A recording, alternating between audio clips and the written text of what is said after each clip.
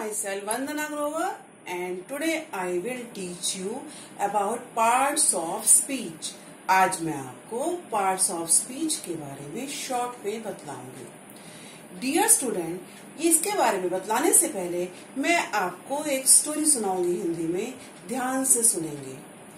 एक बार की बात है, लंदन में एक बहुत फ़ेमस फैमिली रहती थी और फैमिली का सरनेम था ग्रेमर क्या नेम था? सरनेम ग्रेमर और उसके स्पेलिंग क्या थी?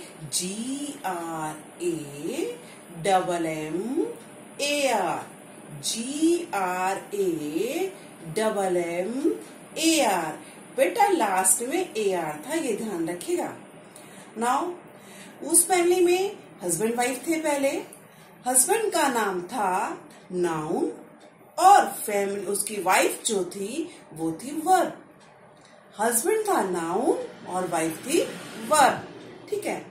अब इनके तीन बच्चे थे, ठीक है? दो बेटे और एक बेटी। जो बेटे थे, उनमें से एक का नाम था प्रनाउन।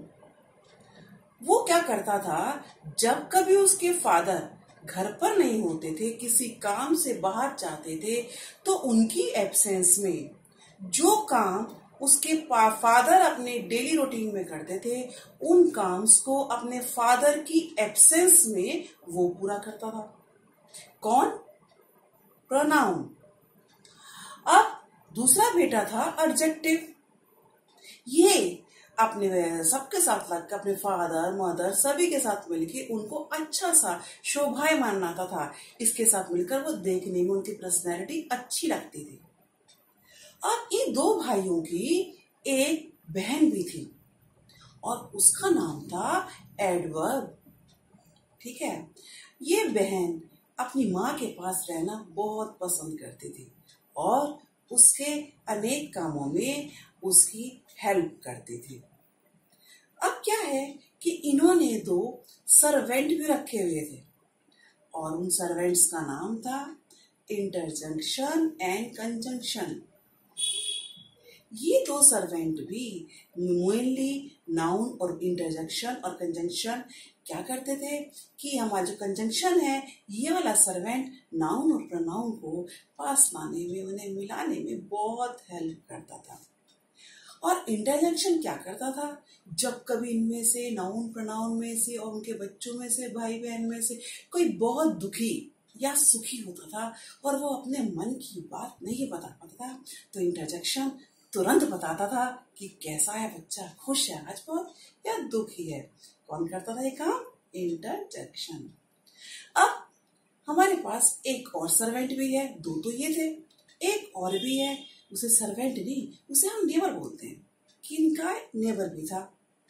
जो इनके किसी भी चीज़ को एक्सप्लेन करने में बहुत हेल्प करता था और उस नेबर का नाम था प्रेपोजिशन जैसे on in under etcetera etcetera और आपको एक मेन बात बताएँ कि ये जो इतनी बड़ी फैमिली थी, इन लोगों ने अपनी एक ही ईमेल आईडी बनाई थी।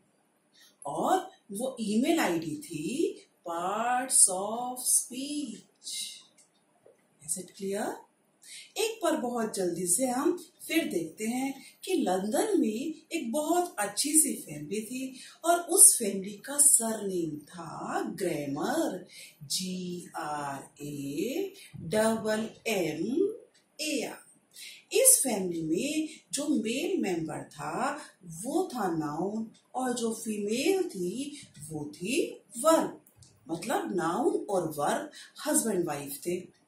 उसके बाद इनके तीन बच्चे थे। Pronoun adjective and adverb pronoun और एडजेक्टिव जो थे, वो बेटे थे और एडवर्ब उनकी बेटी थी। ठीक है? तो अब प्रनाउन क्या करता था? प्रनाउन को अपने फादर से बहुत प्यार था।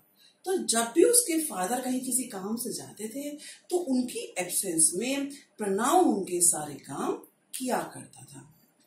और एडजेक्टिव एडजेक्टिव भी नाउन के साथ लगकर और कभी अपने इसे प्रनाउन भाई के साथ लगकर इनकी शोभा को बढ़ाता था।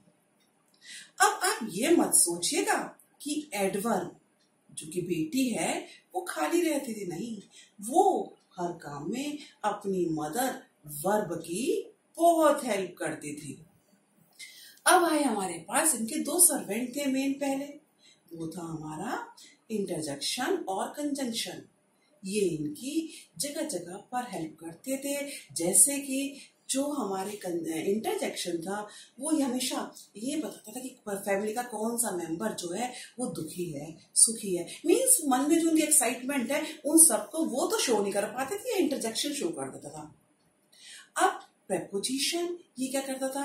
ये किसी भी नाउन और प्रोनाउन के साथ लिखकर, लगकर इसको क्या तो एक तरह से आप लिंकिंग बोल सकते हैं लिंकिंग वर्ड होता है। ये जैसे कि आप इन अंडर इस तरह से। तो इस तरह से हमारे पार्ट्स ऑफ़ स्पीच कंप्लीट हुई। आपको हमने बताया इनका ईमेल आईडी भी थी और उस ईमेल वो ईमेल आईडी थी क्या?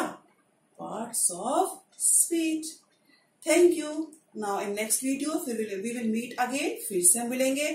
आप मेरे चैनल को सब्सक्राइब ज़रूर कीजिएगा और बेल आइकन को प्रेस कीजिएगा और हो सके तो इसको शेयर भी कीजिएगा। Thanks a lot